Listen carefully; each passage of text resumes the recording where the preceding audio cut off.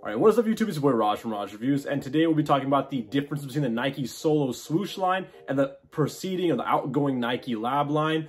Um, essentially, these two uh, brands or like lines have pretty much meshed into one. Uh, so basically, I think a couple years ago, I made a video on the Nike Lab Crew.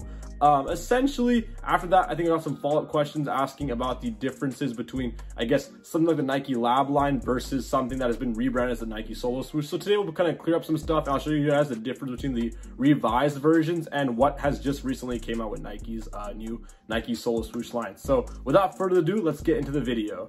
All right, so getting to both the hoodies right here. Uh, first, we're gonna get into like the Nike Lab sweatshirt and the outgoing Nike Solo Swoosh sweatshirt as well. Essentially, they're both the same hoodie, as you can see right here. I'm gonna put some B-roll right here, just kind of comparing it a little bit more in depth. Um, so basically, they're the same hoodie. Um, again, the sizing and overall fit and feel have been exactly the same since I guess whenever they decided to switch it over to the Nike Solo Swoosh line. So I've been basically rocking the same size and pretty much experiencing the same thing for the last three, four years. Um, so I have this green one that I just recently picked up back in, I think, in the fall-ish. So as they were kind of slowly like decreasing the prices, I ended up picking up one. Um, really good value for the money as well. Um, so essentially you kind of get, I guess, like the basic um, style of the hoodie.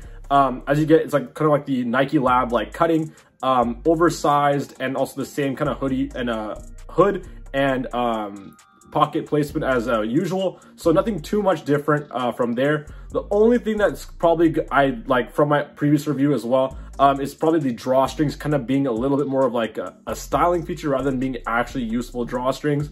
Um, and also again with the hood having like that double stitch um, pattern that kind of goes all the way throughout the hood itself, which is good because it adds extra, I guess, like structure towards the hood.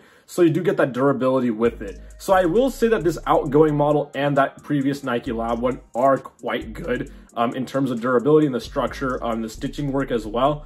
Um, I really don't see too much different kind of going into that newer edition one. Um, so basically getting into the newer one, um, so this one released about, I believe, I believe, uh, I think it was 2023 winter. So pretty much January-ish, I started seeing them update the store with a newer version, um, crew, uh, sweatshirt and crew neck.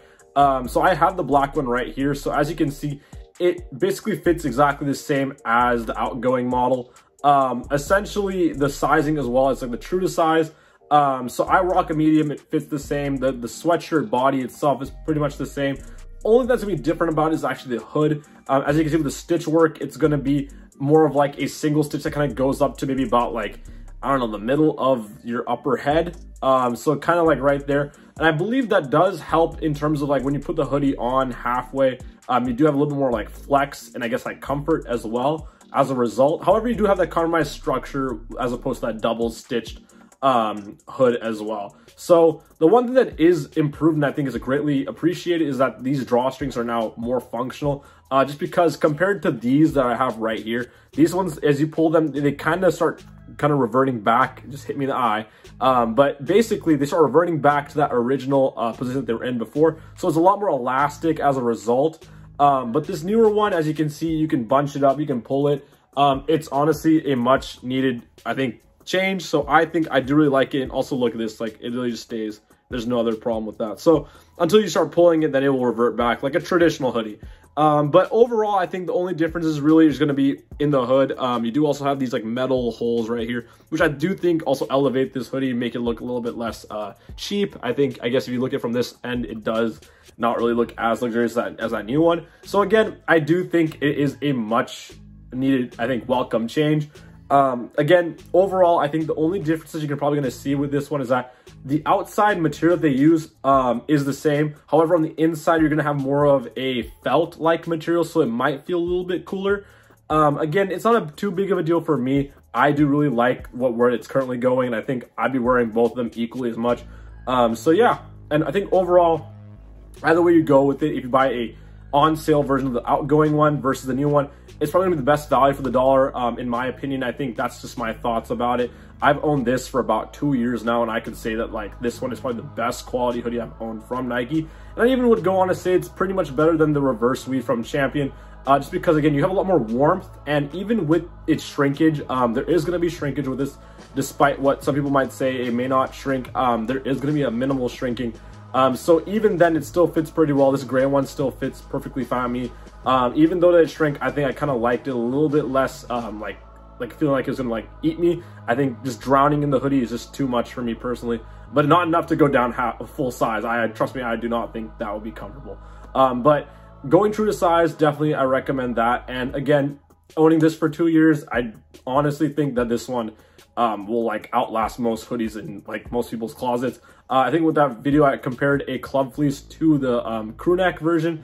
Um, that crew neck I still wear to this day. It's been about two years now um, of like continual wear. Um, so I do expect these ones just to last just as long, if not longer, just because the construction and the actual materials used are quite good for the money.